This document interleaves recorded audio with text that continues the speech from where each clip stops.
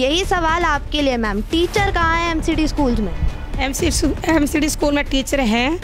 Teacher जो adoption पे लिए हुए हैं कॉन्टैक्ट बेस पे टीचर हैं। लेकिन मैंने देखा है कि एम सी डी में काफ़ी टीचर हैं। कुछ जो है मैम जो है उनको भी सैलरी टाइम पर तो जाती नहीं सैलरी मैडम हमेशा मिलती है उनको। लेकिन इस बार जो है तेरह हज़ार करोड़ रुपया जो दिल्ली सरकार की आम आदमी पार्टी ने जो निगम को देना था वो नहीं दिया गया। उसकी वजह से कुछ रुकावटें आई हैं। नमस्कार, मैं इशिका आप देख रहे हैं नेशन लाइव। एमसीडी चुनाव को लेकर राजधानी दिल्ली में जो हवाएँ हैं, वो तेज हो चुकी हैं। तो वहीं हम आज आ पहुँचे हैं जनकपुरी विधानसभा के पश्चिमी जनकपुरी में और पश्चिमी जनकपुरी की प्रत्याशी जगदम्बा चौहान जी आज हमारे साथ मौजूद हैं। उनसे जानते हैं कि आने वाले चुनाव को वो किस तरह देख रही हैं और कितना विकास वो क्षेत्र का कर पाती हैं। मैम बहुत बहुत स्वागत है आपका नेशन लाइव में। धन्यवाद जी आपका। नमस्कार साथियों। हाँ जी। क्या लग रहा है मैम चुनावी हवा जो है वो दिल्ली में तेज़ होती जा रही है? चुनाव जो है करीब आ गए हैं। क्या कुछ लग रहा है? उम्मीद बनी हुई है? नहीं है कुछ? पूरी उम्मीद है जी। मैं एम में भाजपा ही आएगी इस बार भी। भाजपा आएगी एमसीडी में। अच्छा आपने कहा भाजपा आएगी इस बार भी। पंद्रह साल से भाजपा जो है वो शासन में है एमसीडी में। कितना अपने आप को आप कितना नंबर देना चाहेंगी? काम हुआ है या नहीं हुआ है कुछ काम? बहुत काम हुआ है भाजपा के आने से। हम देख रहे पंद्रह साल से निगम में भाजपा ही आ रही है। पहले, सबसे पहले मैं गिनाती हूँ स्कूलों से। स्कूल जो थे, बिल्कुल मतलब वो सिंगल स्टोरी स्कूल थे। अपने जनकपुरी में जो मैं, जहाँ इस वार्ड में रहती हूँ। अब सारे जो है डबल स्टोरी न्यू नए तरीके से स्कूलों की व्यवस्था हुई है। हमारी निगम पार्षदा प्रोमिला गई जी जब थी यहाँ दस साल पहले, उस वक्त से सारे स्कूलों की नई नींव रखी गई थी। अब देखा जाए, सारे स्कूल जो है, नए तरीके से बने हुए एमसीडी के। सबसे बड़ी उपलब्धि तो ये है स्कूल के बच्चों को। और उसमें जो है जब स्कूल अच्छा होता है तो पढ़ने वाले बच्चों की संख्या भी बढ़ती है। तो उसमें बच्चे, काफ़ी बच्चे भी आ रहे हैं। मैं खुद स्कूलों से जुड़ी हुई हूँ तो बहुत अच्छा है मतलब स्कूलों की व्यवस्था नंबर एक तो। स्कूलों की व्यवस्था की आपने बात करी यहाँ पर। बच्चे बढ़ रहे हैं, बहुत अच्छी बात है। लेकिन भाजपा हमेशा से जो तंज कसती रहती है, दिल्ली सरकार पर कि स्कूल तो बढ़ा दिए हैं, क्लासरूम तो बढ़ा दिए हैं, बच्चे तो बढ़ा दिए हैं, लेकिन टीचर कहाँ हैं? तो यही सवाल आपके लिए मैम। टीचर कहाँ हैं एमसीडी स्कूल्स में? एम सी स्कूल में टीचर हैं। टीचर जो अडोप्शन पे लिए हुए हैं कॉन्टैक्ट बेस पे टीचर हैं। लेकिन मैंने देखा है कि एम सी डी में काफ़ी टीचर हैं। कुछ जो है मैम जो है उनको भी सैलरी टाइम पर तो जाती नहीं है। सैलरी मैडम हमेशा मिलती है उनको। लेकिन इस बार जो है तेरह हज़ार करोड़ रुपया जो दिल्ली सरकार की आम आदमी पार्टी ने जो निगम को देना था वो नहीं दिया गया। उसकी वजह से कुछ रुकावटें आई हैं। फिर भी जो हमारे अधिकारी हैं, जो हमारे सीनियर लीडर हैं, उन्होंने अपने उससे पर्सनल फंड से जो है, उस व्यवस्था को बनाए रखा है। उनको जो है सैलरी भी दी है और काम भी चला रहे हैं। तो फिर किस लिए नाराज़ चल रहे हैं टीचर? टीचर तो अभी भी नाराज़ चल रहे हैं कि उनकी सैलरी टाइम पर नहीं आई। कोविड काल की बात कर लीजिए उनकी तीन तीन चार चार महीने की सैलरी नहीं मिलती। और वही सारे लोग जो हैं वो ज़मीनी हकीकत पर काम कर रहे हैं ज़मीन पर लोगों के साथ जुड़े हुए हैं।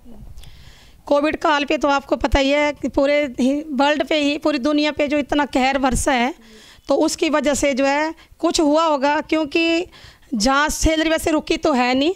जहाँ कुछ रुका होगा तो उनको उसकी व्यवस्था करके दी गई है। कोई भूखा नहीं मरा है। उनके लिए खाना ही खाने का प्रबंध भी हुआ है। हमारे प्रधानमंत्री नरेंद्र मोदी जी की उससे और हमारे निगम के जो निगम पार्षद हैं, मैं जिस एरिया में रहती हूँ, वहाँ के निगम पार्षद नरेंद्र चावला जी हैं। वो मेयर भी रह चुके हैं इसी अपने टाइम पे। तो उन्होंने यहाँ पे बहुत अच्छी व्यवस्था लोगों को राशन पानी की की हुई है। मतलब इस एरिया में कोई भूखा नहीं सोए है हमारे इस जनकपुर इलाके। वैसे जहाँ भी दिल्ली में, जहाँ जहाँ, वैसे तो हम सीढ़ी में तो दिल्ली में जो है बीजेपी की गवर्नमेंट है, पर जहाँ भी बीजेपी का कार्य करता है, वहाँ पे कोई भूखा नहीं मरा है। क्योंकि एक बीजेपी गवर्नमेंट ऐसी है, बीजेपी का जो कार्य करता है, उस वक्त कोरोना काल में ज़मीन पे उतरा है, और उसने घर से रोटियाँ बना के हम लोगों ने भी दी है। रोटियाँ बना के और राशन भी बांटा है लोगों को। दवाइयाँ जितनी निगम से हो सकती थी, वो भी दी है। हर सुविधा लोगों को दी है। टीचरों के लिए भी मेन तो स्कूल तो जा नहीं रहे थे उस वक्त तो सबके स्कूल बंद थे। स्कूल में आना जाना नहीं था, ऑनलाइन क्लास बच्चों की लगती थी। फिर भी अगर उनको केजरीवाल जी के वजह से पैसे नहीं मिले, क्योंकि तेरह हज़ार करोड़ रुपए का फंड नहीं आया, उसकी वजह से जो है, लगता है कि कुछ मतलब नाराज़ भी हैं टीचर, क्योंकि जब होगा इन तो कहाँ से देंगे? पर खाने की व्यवस्था, उनके रहन सहन के लिए उनको काफ़ी दवाइयों की मदद की है। एमसीडी ने जो बेस्ट हो सकता था वो की है। ठीक है। आपने कहा सब कुछ किया है, निगम की ओर से सब हुआ है, लेकिन जो मूल काम है उन लोगों का शायद वो करना भूल गए मैम वो कहीं ना कहीं। क्योंकि क्षेत्र में अगर हम बात करते हैं लोगों की तो लोगों का कहना है कि वो आते नहीं हैं। आपने कहा वो दक्षिणी दिल्ली नगर निगम के महापौर रह चुके हैं तो काफ़ी अच्छा काम उन्हें करना चाहिए था पाँच साल के कार्यकाल में। लेकिन अभी जो हम जनता से जान रहे हैं, उनका कहना है वो शक्ल दिखाने नहीं आए पाँच साल में।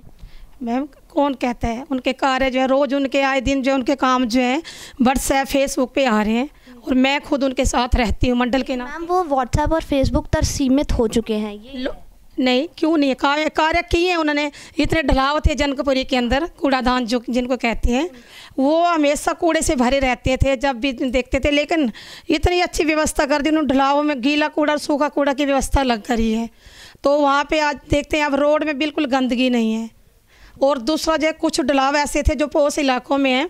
वहाँ पे जो है, गंदगी, जैसे अगर कई बार कूड़ा व्यवस्था, जैसे कोरोना काल में लोग, जो कर्मचारी थे एमसीडी के जो कर्मचारी थे, कुछ लोग तो कोरोना बीमार भी हो गए, कुछ की डेथ भी हो गई। जो लोग बचे थे वो पब्लिक की सेवा में लगे थे, कूड़ा वगैरह उठाने में तो डलावों में ज़्यादा थोड़ा सा कूड़ा था। तो जहाँ पोस इलाके में जो कूड़ा बाहर आ रहा था, उनको जिसकी ज़रूरत थी डलाव की, वहाँ उन्होंने लाइब्रेरियाँ बनाई हुई है।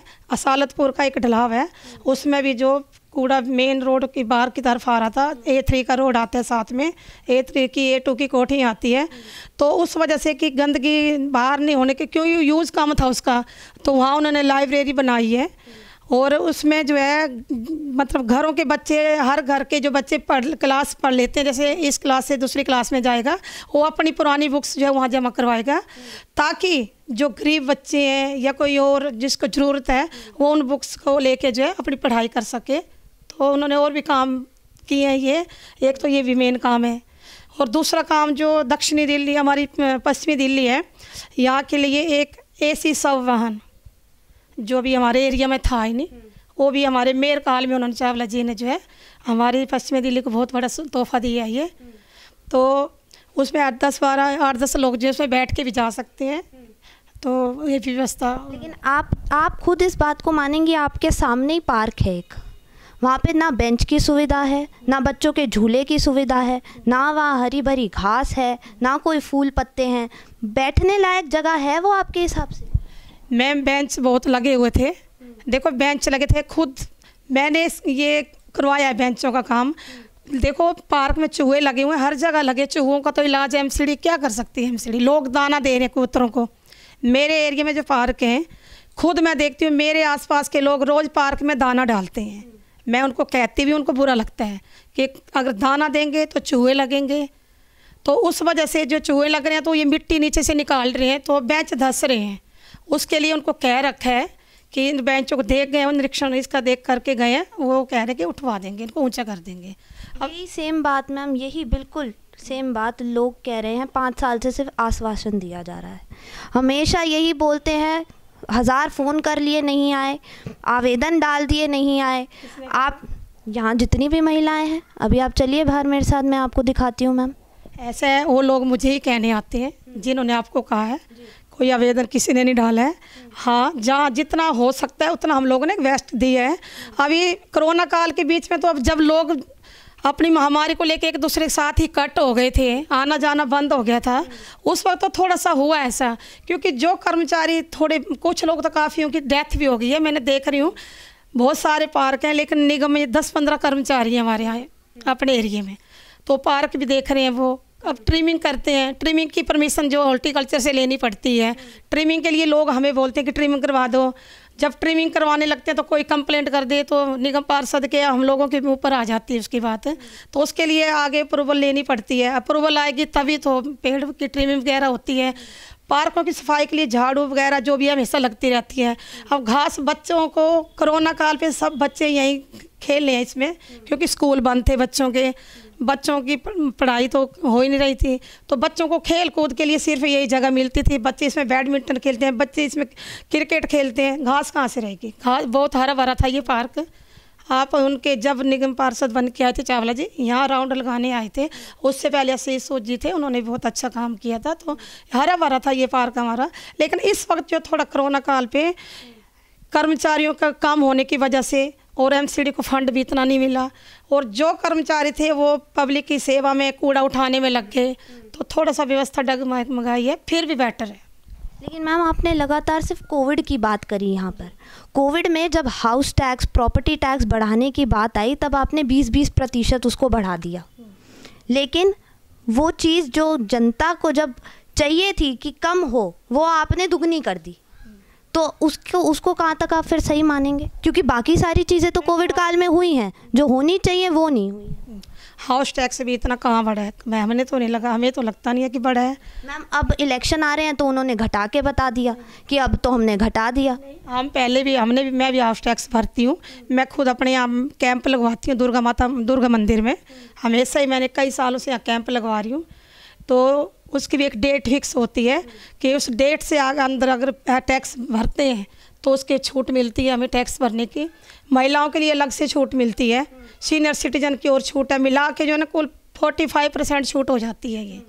पंद्रह परसेंट डेट से पहले की, पंद्रह परसेंट लेडीज़ की, पंद्रह परसेंट कोई लेडीज़ सीनियर सिटीजन है तो उसकी भी उसको, जो उसके नाम पे मकान है। तो फोर्टी फाइव परसेंट की रेट मिलती है। और जब लोग भरेंगे नहीं और लेट जाएँगे तो और वेट उनको नहीं मिलती है ना फिर। नहीं, लेकिन लेट नहीं भर रहे लोग। भाजपा की ओर से क्या किया गया था कि 20 प्रतिशत टैक्स बढ़ा दिया गया आपका प्रॉपर्टी और हाउस टैक्स, और अन्य टैक्स भी, दो तीन उसमें और हैं, वो बढ़ा दिए गए, और फिर उसके बाद इलेक्शन जैसे जैसे नज़दीक आ रहा है तो उनके पोस्टर और सारे होर्डिंग्स आपके छपने लग गए हैं कि हमने घटा दिया है। तो ये राजनीति नहीं है तो क्या है लोगों को बेवकूफ़ बनाया जा रहा है, और क्या और है? नहीं, लोगों को कोई बेवकूफ़ नहीं बनाया जा रहा है। देखो, टैक्स जब पेट्रोल के दाम बढ़ते हैं तो हर चीज़ के दाम बढ़ते ही हैं कुछ ना कुछ थोड़ा बहुत तो असर पड़ता है। और वैसे भी तो पेट्रोल के दाम बढ़ाकर वो कह रहे हैं हम फ्री वैक्सीन दे रहे हैं ये कहाँ तक सही है मैम फिर? मैम वैक्सीन तो फ्री दी है इतना ये तो उनका काम है ना देना अगर पोलियो की दवाई थी तो वो भी मुफ़्त देना उनका काम है मैम। मैम ऐसा है ये तो फैसला जो है मीटिंगों में तय होता है उनकी जो बॉडी बैठती है उसमें तय होता है। उसमें इस बारे में आपको मैं इतना ज़्यादा नहीं बता सकता। अच्छा आपने निगम निगम के उस पर वापस आ जाते हैं हम। निगम की आपने बात करी कर्मचारियों की बात करी कि कोविड काल में मृत्यु हुई है कुछ कर्मचारियों की। तो उसमें कहाँ तक कर्मचारियों को सारे प्रिकॉशंस और सेफ्टी दी गई थी निगम की ओर से? मैम निगम की ओर से जो था कि हर बंदे को घर घर दवाइयाँ पहुँचाई गई है मास्क पहुँचाए गए हैं। अपनी ये मशीनें जो उसके ऑक्सोमीटर पहुँचाए गए हैं थर्मामीटर पहुँचाए गए हैं फिर अपन लेकिन कर्मचारी जो घर घर का कूड़ा उस समय भी उठा रहे थे लॉकडाउन के समय भी वो थे वहाँ पर उनको कोई सेफ्टी प्रोवाइड नहीं कराई जा रही। नहीं उनको सेफ्टी थी उनको ग्लव्स दिए थे उनको पूरा उनको बॉडी के लिए पूरा ड्रेस दी थी किट दी गई थी उनको और उनके परिवार का और उनका पूरा ख्याल रखा गया था। लेकिन अब ये महामारी तो ऐसी थी ये तो हर किसी को हुई है। अब आप अप्रैल महीने का ही देख लो। मेरी अपने एरिया में, मेरी इस कॉलोनी के अंदर तेरह डेथ हो गई मेरे आस पड़ोस में। हमें भी कोविड हुआ था, हम पूरी फैमिली कोविड से हम ग्रसित थे। पर यह कि सबके लिए किया गया, लेकिन उसमें डेथ उनकी हुई, जिनको कोई कोई और बीमारी भी थी, उनकी डेथ हुई है। कोविड से इतना ज़्यादा डेथ भी नहीं हुई है, लेकिन हाँ ये महामारी है, अब इसको कैसे देख सकते हैं? इसके लिए तो जितना हो सकता है उतनी कर रही है। बीजेपी सरकार ने तो काफ़ी किया हुआ है। हम तो अच्छा मैम यहाँ के जो निगम पार्षद हैं नरेंद्र चावला जी उनके नक्शे कदम पर आप चल रही हैं। क्या कुछ आपको लगता है कि इस क्षेत्र में जो नहीं हुआ है जो उनकी ओर से नहीं किया गया है वो आप करने वाली हैं आगे? ऐसे अभी तो मैं क्या बोलूँ अभी तो देखो काम तो हुआ है। काम हुआ है।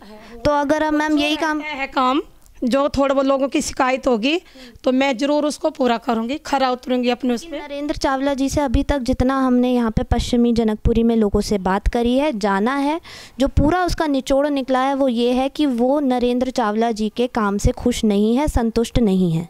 तो अगर आप वैसा ही काम करने वाली हैं तो लोग आपको वोट क्यों करेंगे? नहीं ऐसा है लोग तो बहुत खुश हैं मैं उनके साथ हर प्रोग्राम में जाती हूँ। लोगों ने अभी अभी नेक्स्ट दस पंद्रह दिन पहले उनके राउंड चले हुए थे। हर कॉलोनी में मैं उनके साथ गई हूँ। लोगों ने उनको वेलकम किया। कितने उन्होंने पार्कों के उद्घाटन किए हैं पार्कों के नाम दिए हैं वाटिका के नाम से दिए कोई अर्जुन वाटिका वही तो बात है मैम। नाम दिए हैं उद्घाटन हुए हैं शिलान्यास कर दिए लेकिन फिर भूल गए उन पार्कों को। लाइटें दी हुई हैं सारे आप जाके देख सकते हैं इतनी लाइटें इतनी बेंच हर पार्क में हैं पर वो लोग खुद भी आप कोई मेंटेन ना करे तो उसकी बात ही है। एम तो निगम का काम है ना मैम मेंटेन करना? मैं निगम वाले आ रहे हैं मेंटेन करते हैं। अब आप देख रहे हैं लोग कपड़े सुखा रहे हैं तो मैं निगम ने तो नहीं बोला। कपड़े की बात नहीं अगर आपको साफ़ सफ़ाई रखनी है पार्क में झूले टूटे हुए हैं उनका ध्यान रखना है बेंचेस का ध्यान रखना है ये तो निगम करेगा कि लोग करेंगे मैम कर रहे हैं निगम के आते हैं बेंच को करवाते हैं ठीक हम झूले भी ठीक होते हैं। अब बच्चे इतने आ जाते हैं बाहर से बच्चे आते हैं झोलने के लिए। अब बच्चे कैसे झोलेंगे? वो दुनिया भर का हुआ करते कभी मोड़ रहे हैं झूलों को, कभी कुछ कर रहे हैं, बच्चे तोड़ रहे हैं झोले जब वो झूले टूट जाते तो हम कंप्लेंट करते हैं तो काम होता है। बहुत बहुत शुक्रिया मैम। तो आपने यहाँ देखा, जगदम्बा चौहान जी का साफ़ तौर पर सिर्फ़ यही कहना है कि पंद्रह साल से भाजपा जो है एमसीडी में राज कर रही है तो इस बार भी भाजपा ही एमसीडी में दोबारा आने वाली है और लोगों के बीच अच्छा कार्य कर कर अपनी एक और अच्छी पहचान बनाने वाली है। कैमरा पर्सन दीक्षा के साथ मैं इशिका, नेशन लाइव।